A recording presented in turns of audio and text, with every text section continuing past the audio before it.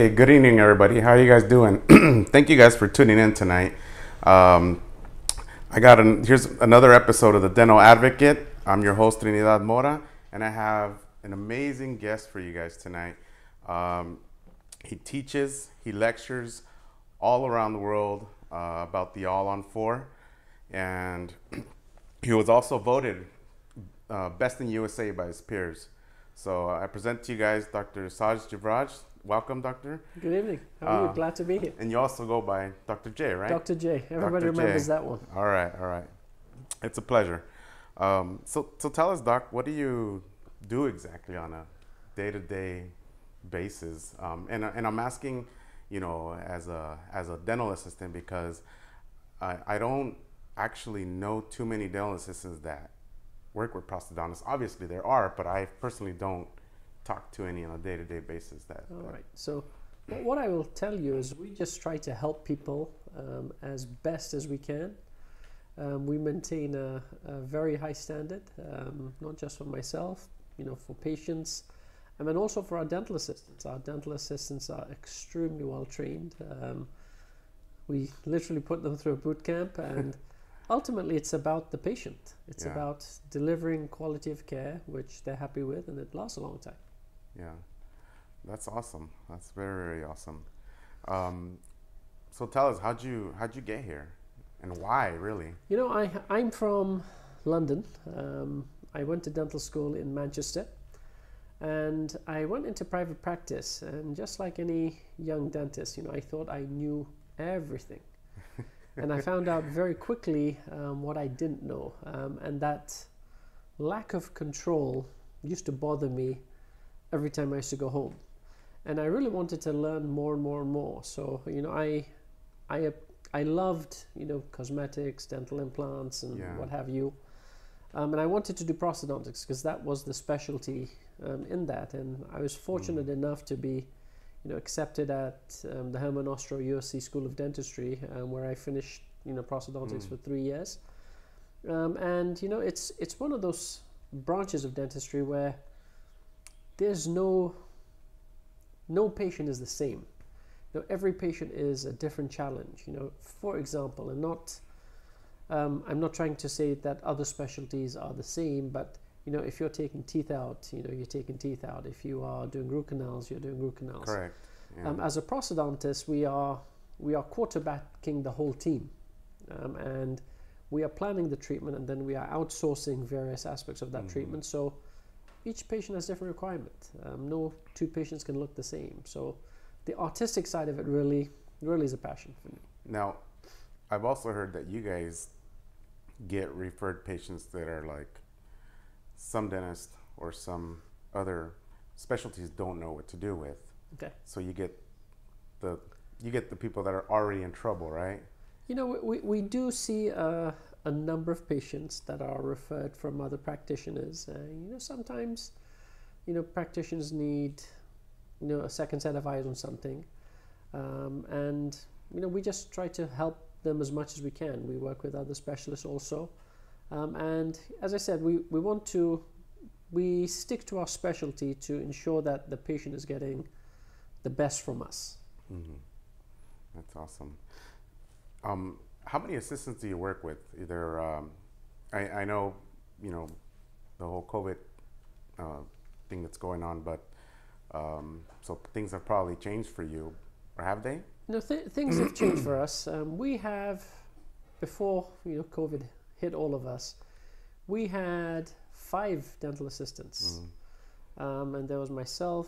We have a couple of hygienists, um, and they were busy. We have a practice with eight rooms, um, and we we were able to see, you know, three four patients at a time. They're not all in treatment, um, but at any one time, um, I do need two assistants working with me at the same time. So we can, next, next to the patient. yeah, because and the only reason for that is, you know, the reality is that patients don't like sit, sitting in the chair, and we want to try and be as efficient as possible. So if you know, sometimes when you have one assistant, um, and you forget something, oh, go and get that. It kind of wastes time. So Yeah, um, we want to try and you know make it efficient so that the patient can get out of the chair as soon as possible.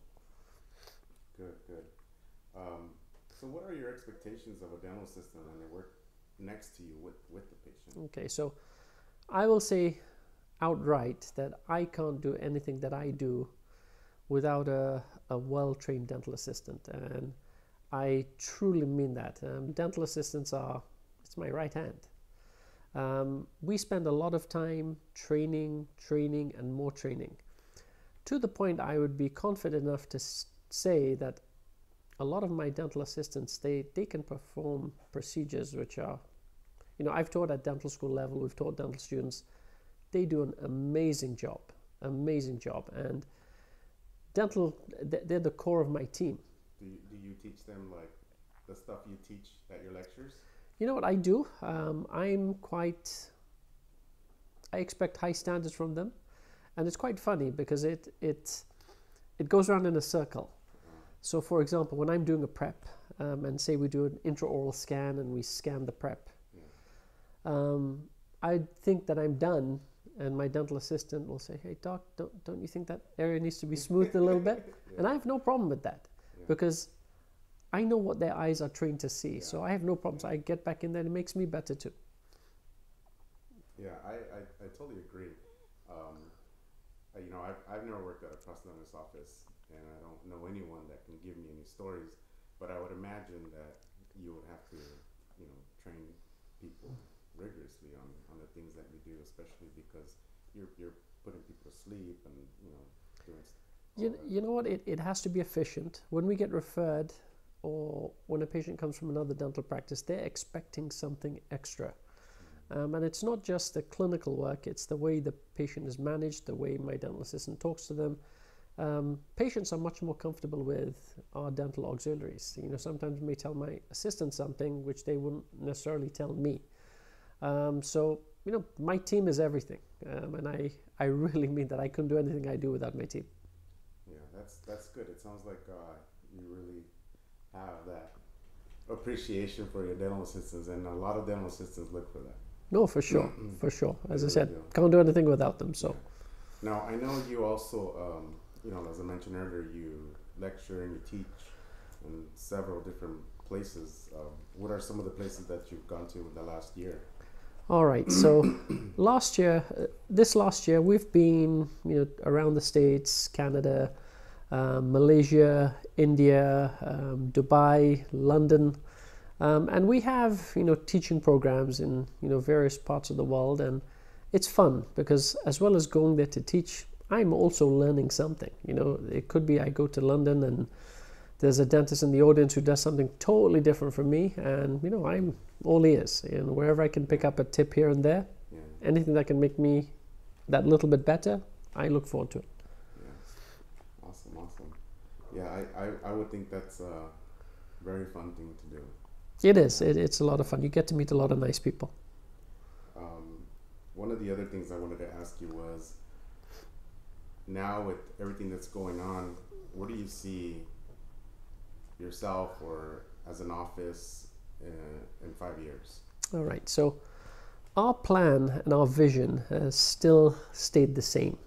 You know, um, there's always going to be something which is going to disrupt things, um, and it's a it's a serious situation right now. Um, but we shouldn't get too focused on it. You know, we're going to come back from this. Everybody's going to come back from this. The reality is that people still need their teeth fixed. People are still going to have some problems. I think while they're sitting at home in quarantine, and those patients who can't, you know, eat or chew or do anything, the things we get most joy out of while we're sitting at home really is, you know, being able to eat what you want and smiling and all that kind of stuff. so yeah, our mission statement is still going to say the same to treat patients well, um, improve the quality of life, improve their confidence, give them the smile they're looking for. And all of these things are still going to be here in five years. So we're going to spend a lot of time on treating people well. yeah, that's definitely. I, I don't think uh, that's gonna go away as Yes. long as we keep growing teeth. Uh, I think we'll always be around. Um, one of the other things is, I know that there are several offices that are either confused or don't have all the information as to what to do to open back up. What are some of the things that you're doing to uh, prepare for that? All right. So first and foremost, patient safety is going to be key. Um, until we have a vaccine, um, it's going to be, you know, it's going to be difficult for patients to return to the practice. But the reality is that they're going they're going to have to because they're going to need certain things addressed. Mm-hmm. So little things that we're doing. Obviously, a very clean practice. We're maintaining our social distancing. We have extra oral suction units um, in place Mm-hmm. for aerosols. We have HEPA 13 air purifiers, which are going to um, ensure, um, well, they're going to clean the air and Yeah. hopefully, you know, clean Yeah. for viruses. We're going to ensure adequate PPE, face masks, and what have you for all of our team. Make sure that our patients, you know, are rinsing and peroxide mouthwash. Um, we're going to try and do everything possible to keep patients safe, staff safe, um, and obviously me and my family safe. Yeah, definitely. Yeah, I know uh, some offices are having the patients wait out in the car. They get called in. Yeah, exactly what we do. They Yeah. they come to the office, they sit in the parking lot, they call us, and we bring them in one by one. The the, the good news is that we have a we have a big office, so to maintain social distancing here is going to be quite easy. And we have eight operatories which are spread apart, so um, we're going to be able to see a few patients. cool. Um, I do have some questions um, from my my circle uh, on Instagram. Yes, yes, I saw some of them. I was looking forward to? Yes, yes. So I do want to send a shout out to uh, my circle on Instagram, which is uh, Dental Vibe 17, uh, Assistant Becky, and the Dental Assistant Life. I know you guys are uh, gonna watch this, so I just want to say what's up and thank you guys for always uh, supporting us. As- Assistant Becky had some good questions. Yeah, she Yeah. she just she's always just blowing up. No, fantastic. I That's mean, great you- news. You get her started, she she go she goes. so you know, uh, for those of you that are watching, give these ladies a, a follow. They are they've got some really cool, funny memes on their stuff. They got some good information that has to do with everything dental assistant. So check them out. And I believe also uh, Dental Vibes 17 is having a giveaway right now. Uh, it is a giveaway for a toothpaste called Twice. So if you guys uh, love some new toothpaste, if you guys haven't heard of it, check it out, and uh, maybe you'll get it for free. So let's move on here to the next question. So you know, Becky really wants to know what was the most complicated procedure you performed and why. All right. So, as far as complicated procedures, most of the procedures we do are quite complex. Now, complex and you know something which is really satisfying, you know, sometimes are a little bit different. So, everything is a challenge um, because that's what we do. Now, one of the patients I can distinctly remember that we treated was a, a gentleman by the name of Eric. Um, he was suffering from Down syndrome, um, and his dream was to be able to eat a torta. I, I hope I said that right.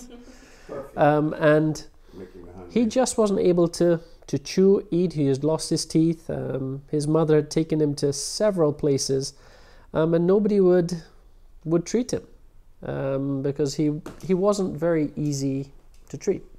Saying that, he came in the chair. I got on very well with him, um, and unfortunately for him, we'd had to remove you know several of his teeth, um, and we placed dental implants and we gave him teeth.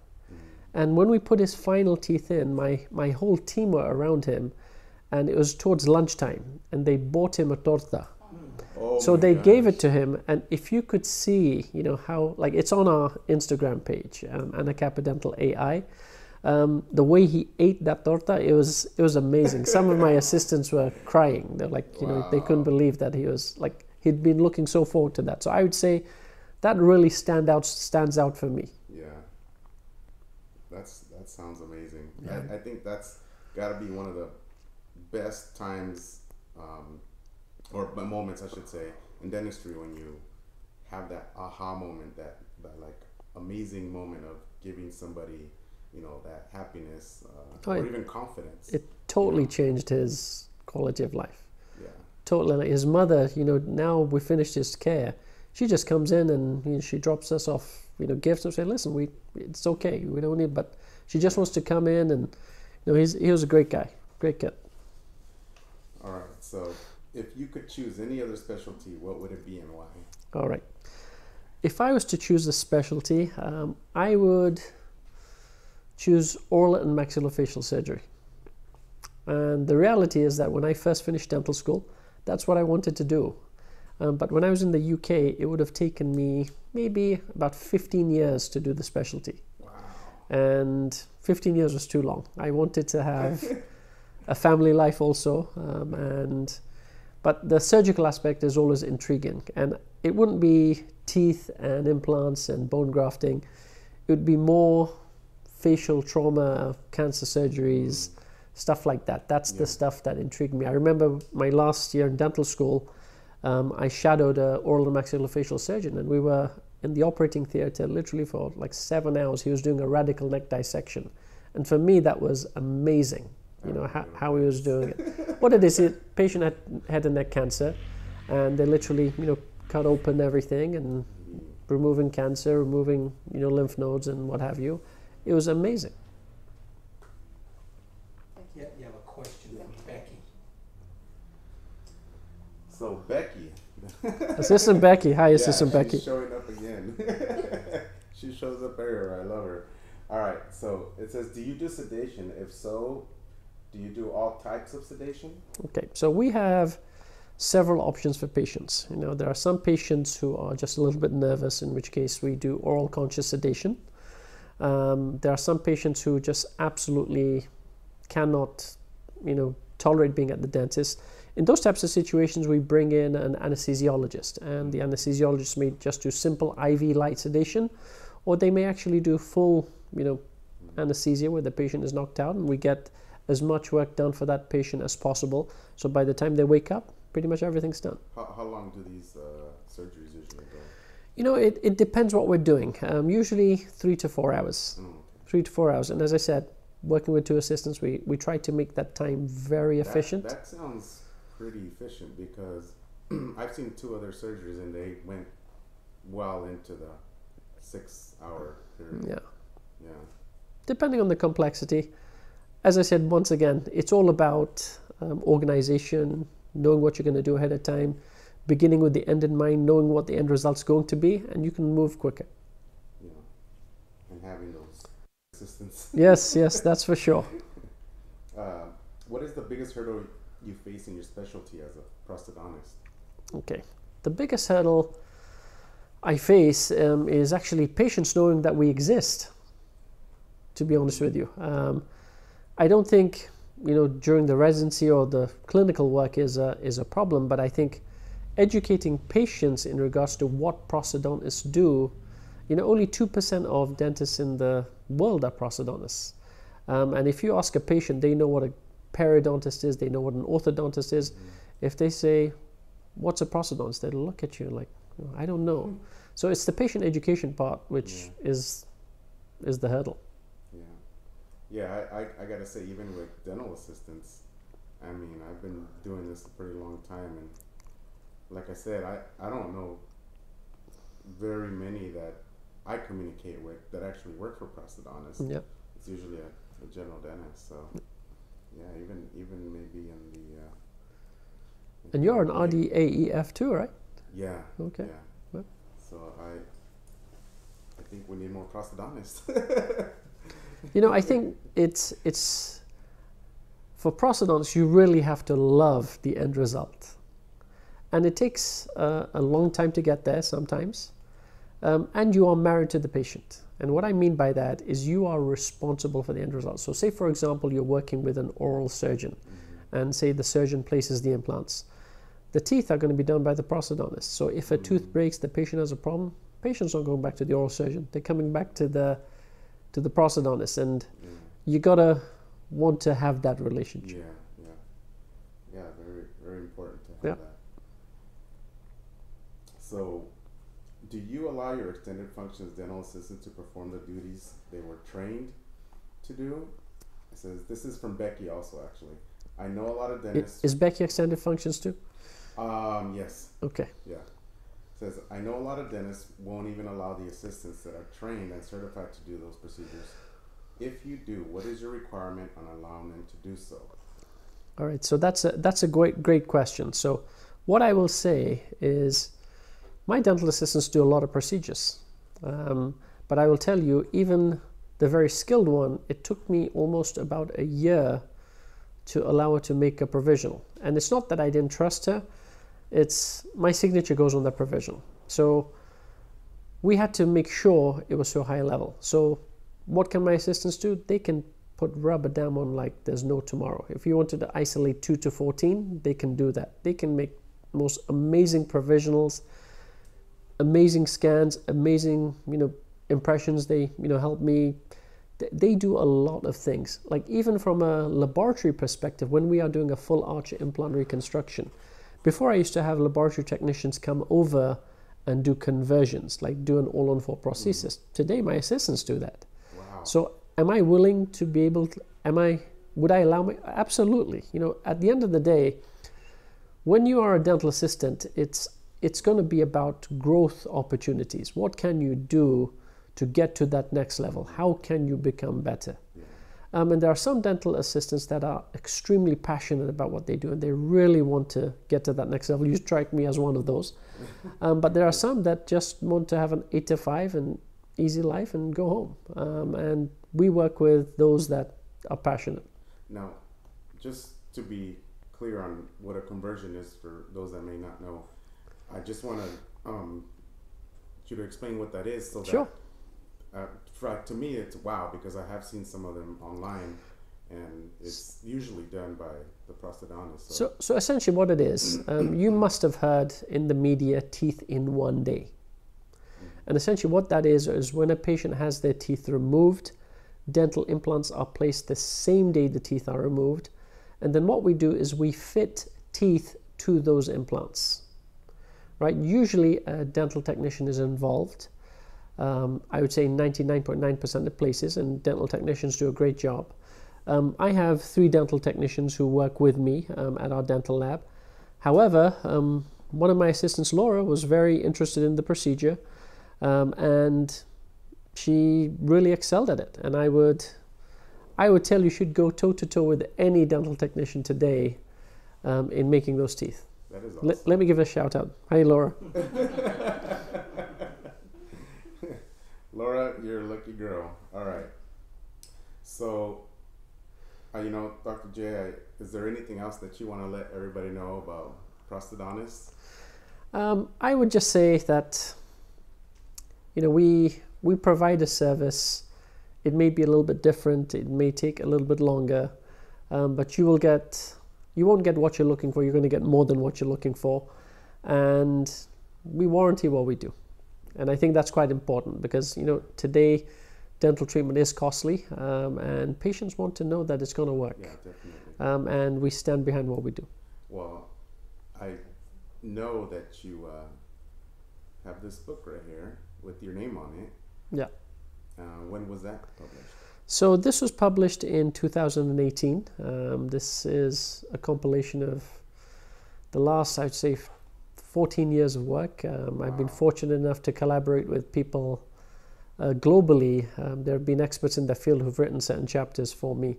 Um, but it was it was nice taking on the project. And when you're writing, you find out very quickly how much you don't know. Wow. Um, so it really forced me to get back to things and really figure out how can we simplify things so people will understand it. And um, there have been over 15,000 sales, um, which has been great. Um, and it's been a great resource for dentists, and I'm sure many patients have been helped. Well, I, so I, was, say, I was quite pleased. Um, your, your field of, of dentistry sounds very exciting. it is. It's, I love it. it sounds, it sounds like uh, it's, it's, it's very fun and very rewarding for both you and the assistant actually. Well, um, thank you for for letting us do the show here in your facility, Doc. I no, our really pleasure. Appreciate it. No, thank, thank you for your time. Thank you, Trent. I'd, um, I'd really appreciate it. Coming on, I, I appreciate it. Thank you. And I want to thank everybody watching. Thank you guys for tuning in. Um, remember to tag all your IG friends and all your Facebook friends. I'm going to load this video on my YouTube, so you guys will be, have uh, quick access to it, and it'll also be on my Facebook. And thank you very much, Silly Panda Media, again for making this happen. Uh, I really appreciate that.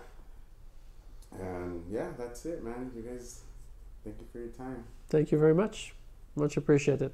And just remember, um, keep it positive, and I hope your suction never fails you. Peace.